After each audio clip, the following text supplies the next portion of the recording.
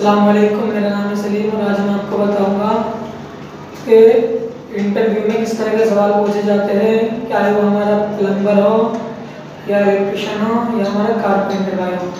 तो किस तरह के सवाल पूछे जाते हैं इंची टेप की जानकारी के सवाल पूछे गए सबसे पहले आपसे क्योंकि सबसे मेन पहला काम हमारा इंची टेप ही चलाना होता है, तभी हम आगे काम कर सकेंगे।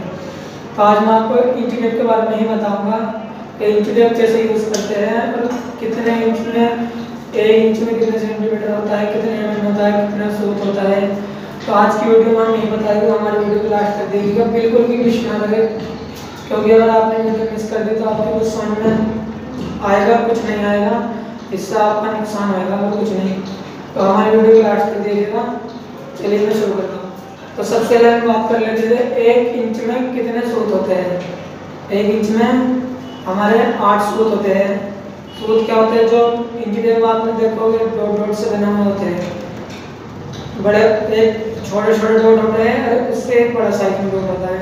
और जो बड़ा साइज़ डॉट होता है वो हमारा होता है सूत तो हमारे एक इंच में आठ सूत होते हैं। आप गिन सकते हैं, आठ सूत जो बड़ी लाइन हो। ठीक है? अब हम एक इंच में हम, हमारे कितने एम होते हैं? तो एम बता दूँगा आपका एम क्या होता है? तो मैंने भी आपको बताया है कि जो बड़ा साइज़ के डॉट होते हैं, वे तो सूत होते हैं। और जो छोटे छोटे साइज़ के होते हैं ना डॉट डॉट डॉट डॉट तो वे हमारे एम में होते हैं। अगर आप उनको गिनोगे तो वे 25 एम एम निकलेंगे, पच्चीस पॉइंट चवालीस एम एम निकलेगा। लेकिन आप सीधी भाषा में कह सकते हैं, पच्चीस एम एम कि हमारे पच्चीस एम एम होते हैं एक इंच में। अब एक इंच में कितने सेंटीमीटर होता है? तो एक इंच में हमारा सेंटीमीटर होता है फिफ्टी फोर यानी ढाई सेंटीमीटर मान लो ढाई सेंटीमीटर हमारा एक इंच में होता है, ढाई सेंटीमीटर हमारा एक इंच में होता है। अब जो है, हम बात कर लेते हैं एक फिट में कितना इंच होता है।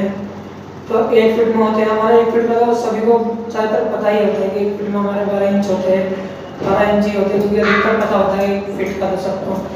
लेकिन आपको फिर भी ध्यान रखना है, एक इंच में हमारे वो एक फिट में हमारे बारह इंच होते हैं और हमारे बारह इंच का एक फिट होता है, ठीक है? अब हम बात कर लेते हैं कि हमारा एक मीटर जो होता है, एक मीटर में कितने इंच होते हैं? तो हम बात करें, एक मीटर में हमारे होते हैं उनतालीस पॉइंट उनतालीस पॉइंट चालीस इंच। सीधी भाषा में आप कह सकते हैं उनतालीस इंच। एक मीटर में हमारे उनतालीस इंच होते हैं। अब अब हमारा एक गज होता है एक तो मीटर हो गया हमारा एक गज भी होता है।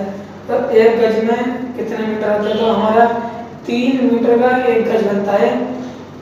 तीन मीटर का एक गज बनता है। अगर हम इनको इंच में करेंगे तो आप जोड़ लो तीन तो आप अंदर इसको तीन से गुणा करने पर हमारा एक सौ सत्रह इंच आएगा। यानी तीन मीटर में एक सौ सत्रह इंच होता है और एक गज भी एक सौ सत्रह इंच का ही होता है। तो अगर आएगा आपको, हमारी वीडियो पसंद आई हो तो चैनल को सब्सक्राइब करें और बेल आइकन को भी दबा दें ताकि आपको हमारे न्यू लेटेस्ट अपडेट सबसे पहले मिल सके।